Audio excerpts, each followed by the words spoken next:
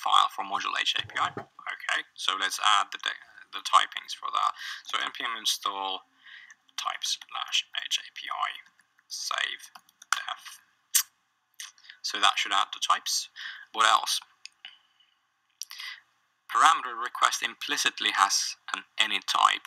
Okay, it should be something else. Okay, and cannot find name logger because we didn't add the logger. So let's import uh, as logger from Winston.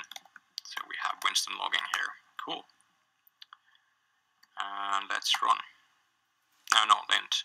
Let's see the compiler. Oh, compiler says it's good now. Well, that was easy. But I didn't fix this problem. oh well, it seems to be okay. Well, it fixed itself. So let's let's now run the server. npm run start. We should have a server running on port 8000. It's saying it, it's running, but let's try it. Localhost 8000 on my browser. Yes, status code 404, error not found, message not found, because we don't have a route for this. What do we call it? Test, I think? Yes, test one. Cool. So we have TypeScript, we have an HAPI server here, and we have sort of an API without any documentation yet. But we're well on our way to be doing the actual API we want to be doing. Mm. So what we want, because we already tested Chromeless, so the next thing would be just to implement Chromeless on an endpoint. I think that's a good way to go forward, I think. We can implement an endpoint with HAPI that's actually going to do this this stuff. So we would get a payload and then we would get a response with the uh, link. Yeah, we can try that. But um, let's commit at this point so we don't forget. I'm adding so many windows. So let's see what changed. Package log stuff. No, I don't, I'm not interested in that. Okay. So this is our index.ts file. Async function start. So this is what we did. We added the server.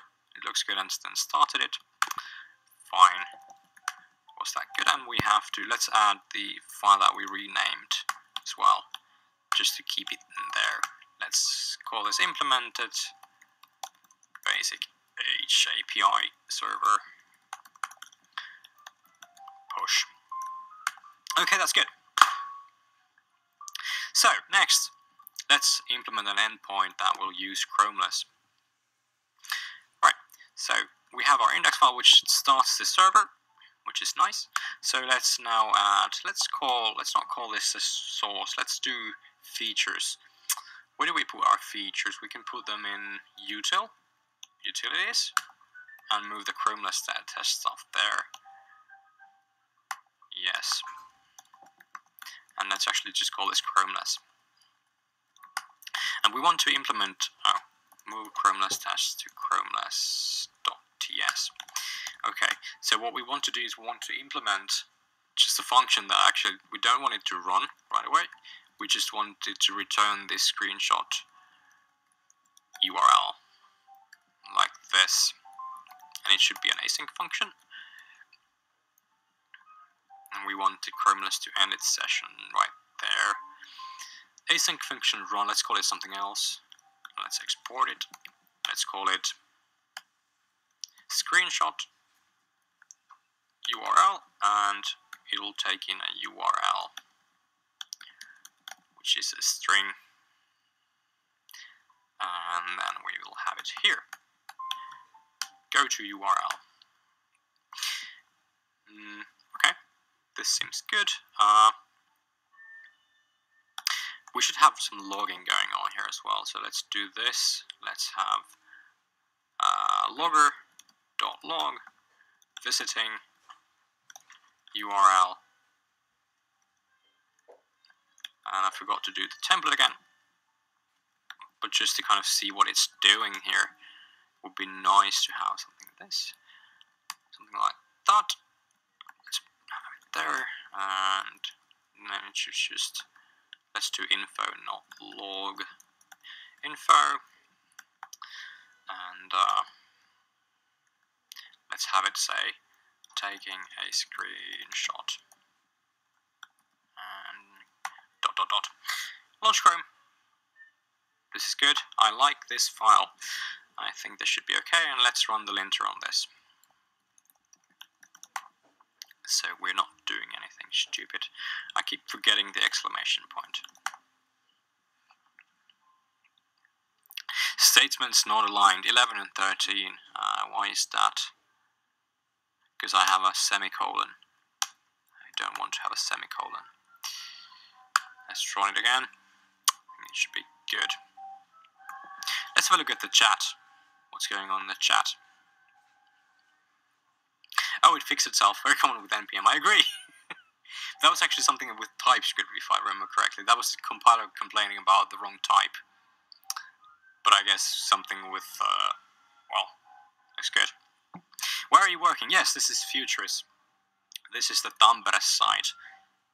Uh, if you saw the, uh, I'm gonna switch to that camera for a moment. So this is where I live. This is Tampere, which is quite nice. That's the bridge. That's the Finlayson area. There you you actually used to have this same view in the uh, 20 mark uh, money back in the 90s and before that, which is nice. This is a really nice scenery. But yeah, I love working at Futurice, at Tammerfors. Yeah, let's go back to the uh, coding. Alright. Does someone know any good and up-to-date tutorials online for setting up a TypeScript development environment? I actually don't know. I would just go on YouTube and have a look. That would probably be a good idea. I would just go to TypeScript or something. Yeah.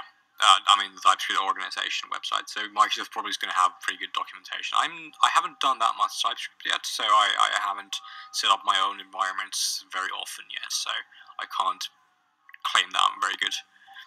Good uh, tutorial guide for that. But okay, so this should be fine. Um, we now have a util called Chromeless, which is exporting a uh, function called screenshot URL. So what we can now do is we can import it in the index.ts file. And uh, we have a Vim session here, so let's close that. Let's close this window, we don't want this, okay. So let's implement a new route and let's just call it uh, PDF. And we, we're going to want to post something for it. And we have a handler which takes in request and reply. Um, we should probably uh, implement the handler. So let's implement it here. So let's call it the PDF handler function and it's going to be async PDF handler request reply and what it's going to do is it's going to return reply something. Do do do. Okay, um, replying with test, and that's and we can now probably just call this handler as just PDF handler.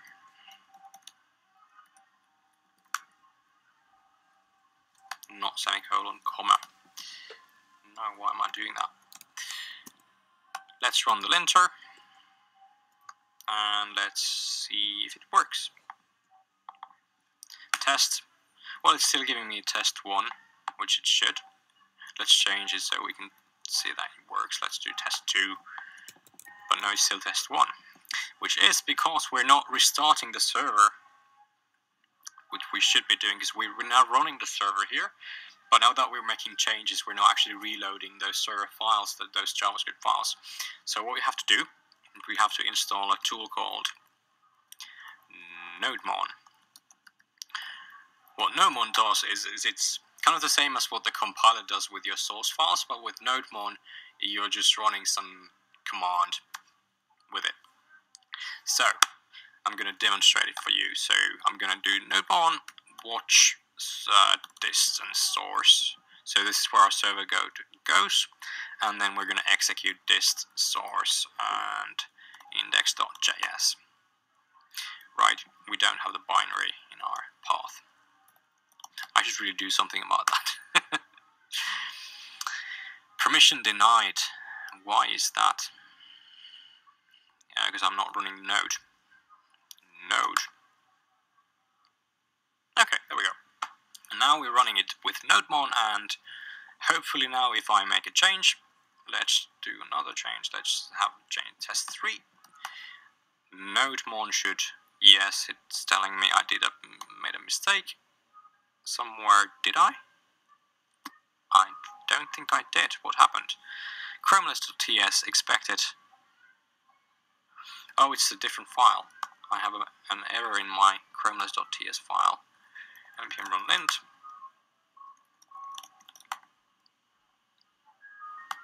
Hmm.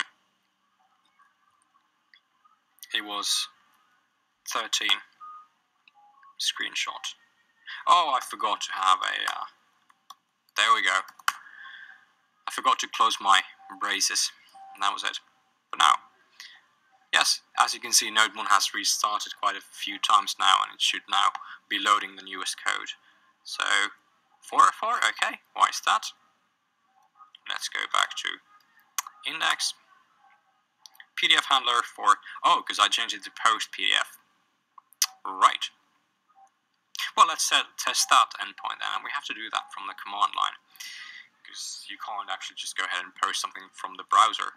Well, not easily, you can, but it's not that easy. So let's just go curl, and um, we'll use post, and HTTP localhost, and port is 8000.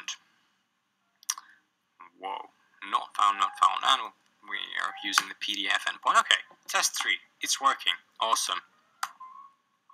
Now we have an API that's receiving a post request. Now, let's go back and change it to our new handler. So let's import the uh, Chromeless handler, import everything as, well, let's just get the, uh, what was it called again? Let's add a new window here. Let's open the Chromeless util, because I think we're going to need it quite a few times. So let's import just the screenshot shot URL function from, from our own file called util and chromeless. Looks good. now we have this function in our scope, and let's await screenshot URL, some URL. Let's get the URL from the request payload. So we're, we're supplying it with something, so it's probably going to be something like request URL from request payload. Right. And now it should give us a warning if we, we're not giving it,